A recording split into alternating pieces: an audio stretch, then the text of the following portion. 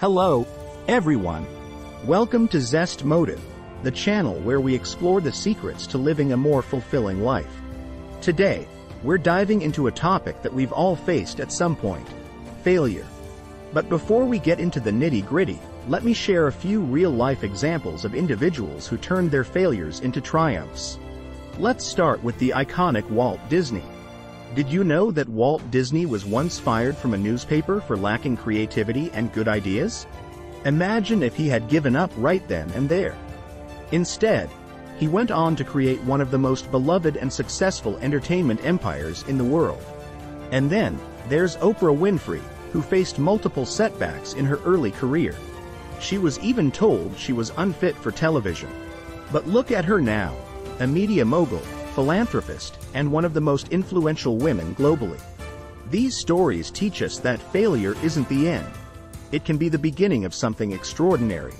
So, how do we overcome failure in our own lives?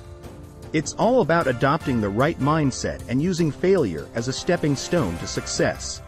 Let's dive into some key strategies. The first step is to embrace failure. Understand that failure is not a reflection of your worth or potential. It's a natural part of the journey towards success. Each failure is an opportunity to learn, grow, and improve. Don't be afraid of it. Instead, welcome it as a teacher in disguise. Next, take the time to learn from your failures. Analyze what went wrong, identify areas for improvement, and use that knowledge to adapt your approach. Remember, every mistake is a valuable lesson that brings you one step closer to your goals. Setting realistic goals is crucial. While dreaming big is essential, it's equally important to break those big dreams into smaller, more manageable goals. This not only makes the journey less overwhelming but also allows you to celebrate small victories along the way. Cultivate resilience, the ability to bounce back from setbacks stronger than before. Understand that setbacks are temporary, and your response to them can shape your future. Resilience is not about avoiding failure. It's about facing it head on with unwavering determination.